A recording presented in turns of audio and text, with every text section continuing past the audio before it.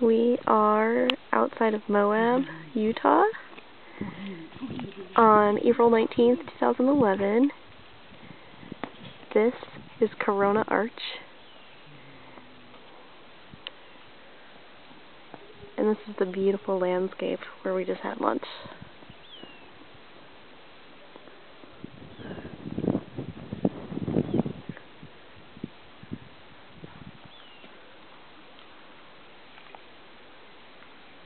Joseph way down there for a little bit of perspective. It's absolutely massive.